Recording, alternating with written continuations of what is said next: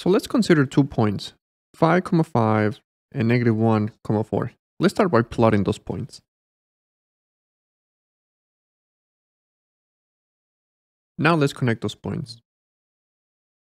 What we have created here, it's a line segment. So what we want to do, we want to find the location of a point. Let's call it P. That will partition the line segment. What partition? It just means to cut. We want to find the location of a point P that will cut the line segment into a ratio, a ratio of 2 to 1.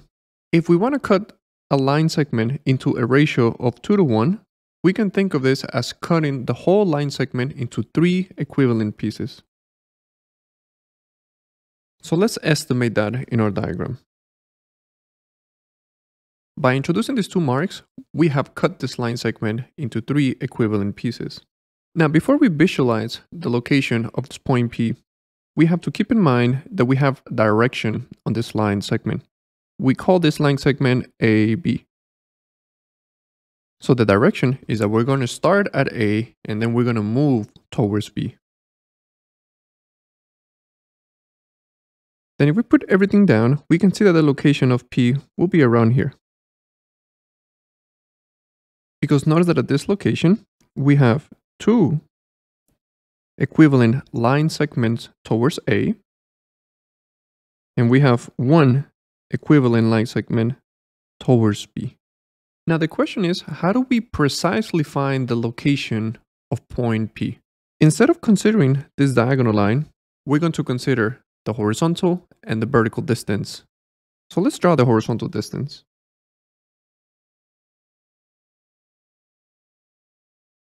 Notice that we have x value at negative 1 and we want to go all the way to the x value of 5, we are traveling 6 units. So now let's consider its vertical distance. If we start at the y value of negative 4 and we go all the way up to the y value of 5, we are traveling 9 units. So remembering that we cut down this diagonal line into three equivalent pieces, Let's do the same for the horizontal and the vertical. So we have cut down the horizontal into three equivalent pieces.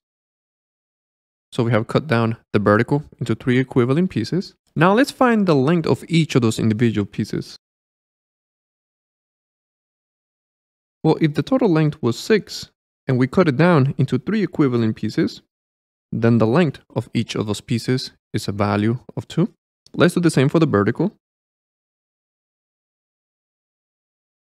The total length was 9, and we want to cut it down into three equivalent pieces. Therefore, each piece has a length of 3.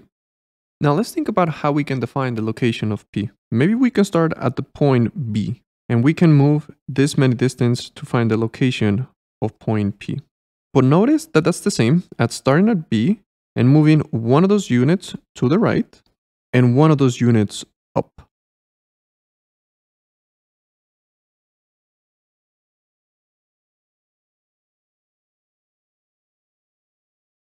So now let's define the location of P. We can start at the x value of B, which is negative 1. And if we move one unit to the right, we know that each unit has a length of 2. So that's the same as adding 2 on the x coordinate. And then um, we can concentrate on the y's. If we start at B, we can start at negative 4. But if we're just moving one unit up, we know that the length of each unit is 3, so that's the same as just adding 3 to the y values. So now we simplify this, we get 1 comma negative 1. So now we can say that the location for the coordinate point P is 1 comma negative 1. Welcome. If you would like to continue learning about mathematics, you can check out the videos on the left.